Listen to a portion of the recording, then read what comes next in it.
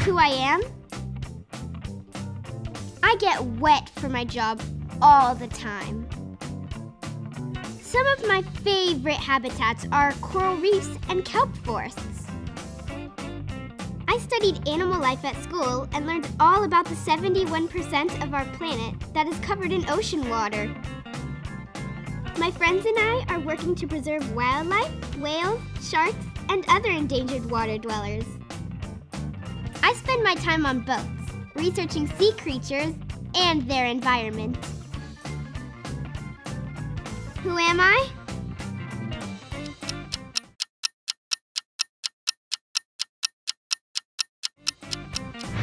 A marine biologist.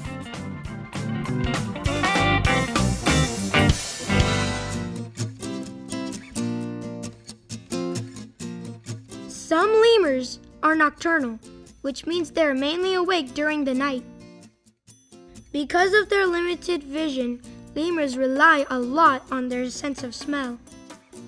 When lemurs are low on food, they will sometimes slow down their metabolism. In some species of lemurs, their tails are longer than their bodies. Lemurs have stink bites to control their territory. The stinkiest lemur wins! Pretty cool, huh?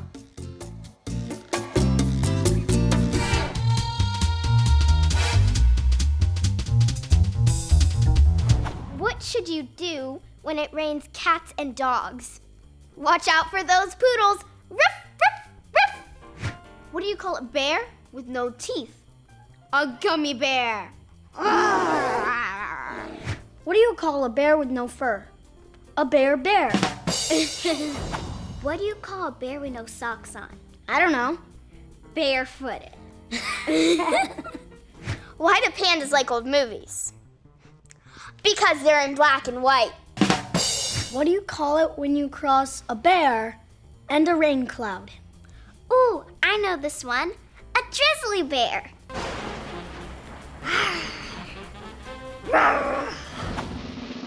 Brain play.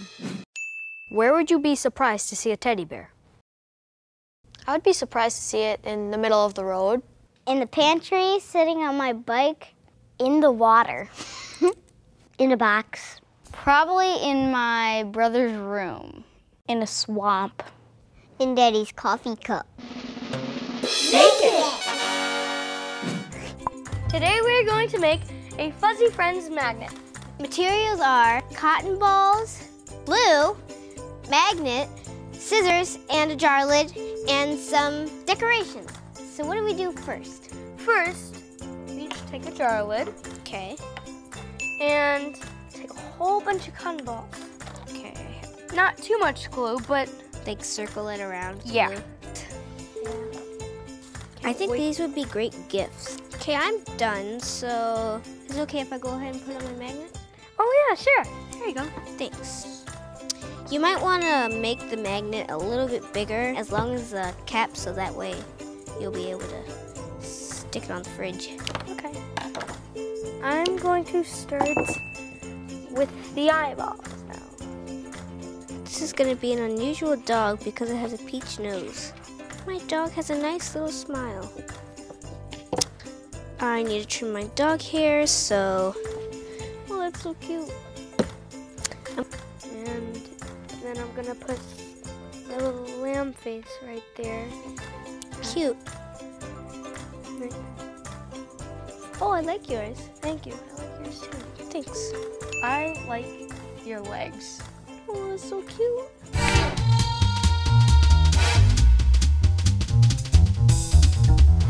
What did one octopus say to the other octopus? I don't know. I want to hold your hand, hand, hand, hand, hand, hand, hand, hand. Do you mean tentacles? Why do elephants have trunks? Because they love to travel.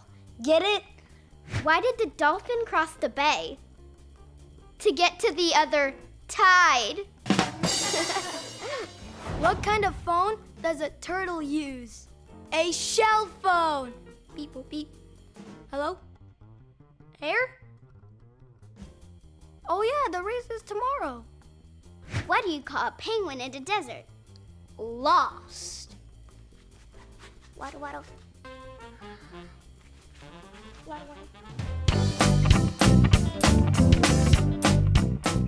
Can you figure out who I am? I work in some of the coldest temperatures in the world. My coworkers and I dress in lots of layers. Where I work, some days the sun never sets, and other days the sun never rises. I have a thirst for adventure, but I must know wilderness survival skills, and I'm always prepared for anything with my backpack full of equipment. Occasionally, I get to work closely with rare wildlife. Who am I?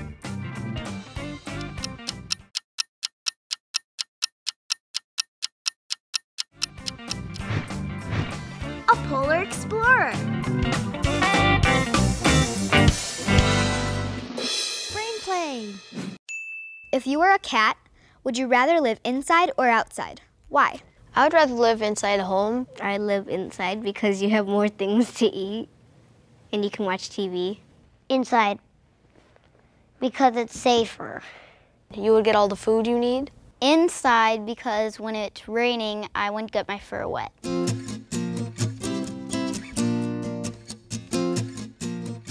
Sloths can be anywhere from two to two and a half feet long and weigh between 8 and 17 pounds.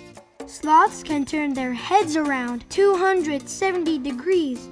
That's almost all the way around. 11,000 years ago, there were ancient sloths called Megatherium. They were the size of modern elephants. Sloths are surprisingly good swimmers and sometimes travel from tree to tree in the water during the rainy season. Baby sloths can spend up to the first 12 months of their lives hanging on to their mothers and never touch the ground. Pretty cool, huh?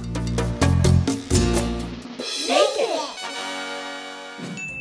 Today we're gonna make party invitations. The materials we need are an envelope, cardstock, googly eyes, ribbon, scissors, markers, glue, and chenille sticks. First, we need to trace the envelope on the cardstock. And then I think we're gonna glue this on around it. While you're doing that, I'm gonna glue my bug together. Great Sounds job. like a great idea. I'll do the bug. Great. So I'm gonna put a little glue right here too. So, um, should we make the eyes? That's a great idea. There, now I got one eye. One more to go. While you guys are doing that, I'll cut the ribbon and attach it to my bug. Awesome. I think I almost got it. There. Now the googly eyes are on. Now I can do the legs. Pink. There we go. It has an orange tongue. Ta-da!